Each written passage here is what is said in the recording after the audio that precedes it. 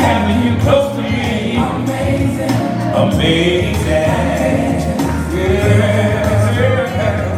Thank y'all. I love y'all. Stay good. Appreciate it.